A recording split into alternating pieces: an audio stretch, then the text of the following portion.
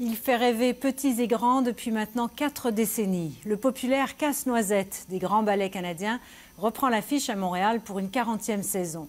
Et cette année, celui qui a conçu et supervisé chacune des représentations depuis les tout débuts est à l'honneur. Alexis Deschênes nous en parle.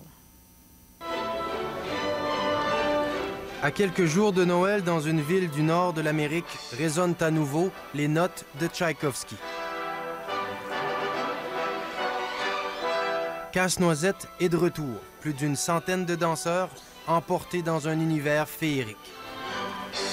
Il y a plein de magie, il y a tellement d'affaires. C'est l'histoire d'un casse-noisette qui grandit, puis c'est comme un conte de fées.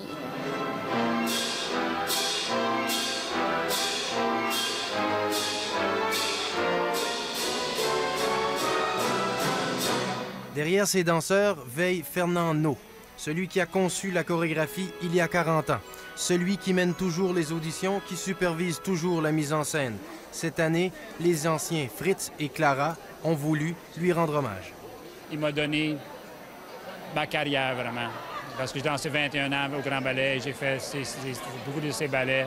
Si c'était pas pour lui, je ne serais pas la personne que je suis aujourd'hui. Il était extrêmement patient avec tous les enfants. C'est un homme exceptionnel. C'était un prince charmant, M. No.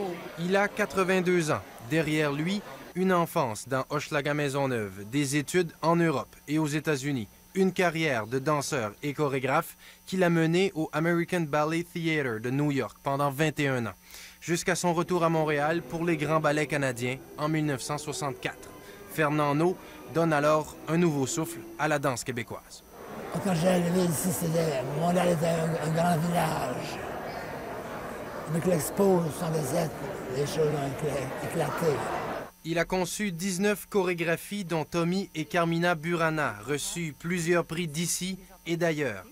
Just lucky, I guess. D'être là au bon moment. Ils honorent l'homme et l'œuvre si populaire que depuis 40 ans, 1 800 000 spectateurs ont vu ce casse-noisette. Au lever du rideau, Fernando redeviendra spectateur, comme tous les autres, peut-être un peu plus sévère, mais il se laissera prendre, lui aussi, par la magie du casse-noisette. Alexis Deschênes, Radio-Canada, Montréal.